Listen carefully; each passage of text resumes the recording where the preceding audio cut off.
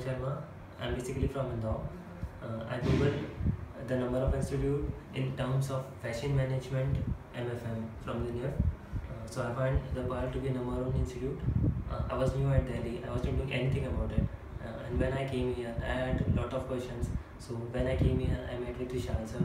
Uh, so I was very scared about it. Like uh, it's only 10 days, 10 days left, with me. And so when I when I met him, so he cleared my all of all of my doubts.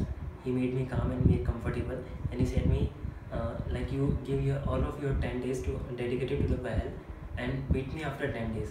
So when I came at the starting, it was totally different. I was a bit scared and had a lot of questions in my mind. And after 10 days, it's totally different. Now I'm bit very much confident about it.